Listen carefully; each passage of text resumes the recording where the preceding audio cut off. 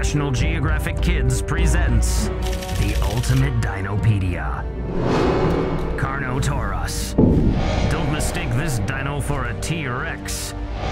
Both species hailed from the theropod group, fast, ferocious meat eaters that were closely related to birds. But the horned bull like Carnotaurus had arms even smaller than the T-Rex.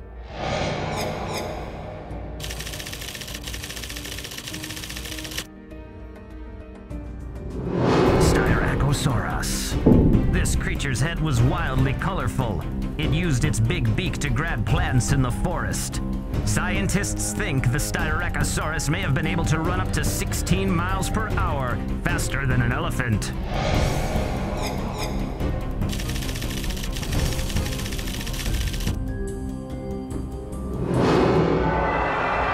Spinosaurus.